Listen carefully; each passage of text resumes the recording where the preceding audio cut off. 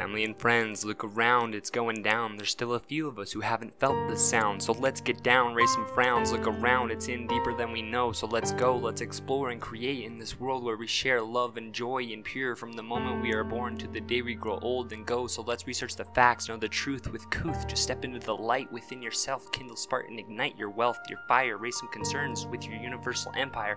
Lock your heart to your goal and make your calories burn as the world turns. I'm a family fanatic with roots in the universe, holding true to every verse. My lines, my prayers, my lyrics, my mantras I rehearse, wishing the world would better converse. I sit here rap attacking, communicating, waiting on the world's verbatim, listening and writing, hoping and smiling, breaking barriers, exploring systems, networks, lives, and lies to better figure the way the world works.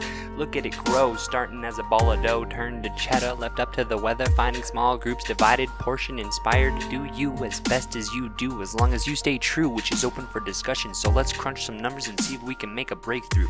The layers of an onion, it's something fun then. Utilized with tools propagating our creations, we build nations, streets, lit abominations, arts, facts, and gas through our imaginations, running wild through this maze. 8 billion populating somber gazes. Facts on the matter, I'll never know ya all.